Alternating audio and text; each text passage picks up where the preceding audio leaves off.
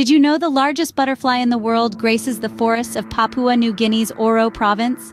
Enter the Queen Alexandra's birdwing, a majestic creature boasting an impressive wingspan of 31 centimeters. With vibrant colors and an elegant flight, this butterfly is a true spectacle of nature. Its size is matched by its rarity, making each sighting a cherished moment. Sadly, deforestation threatens the Queen Alexandra's birdwing.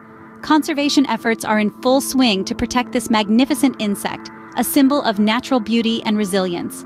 Remember, every creature, no matter how small or large, plays a vital role in our ecosystem. So, let's celebrate and protect the Queen Alexandra's birdwing, the reigning monarch of the butterfly world. Stay curious, stay informed, and stay connected to the world around you. Until next time.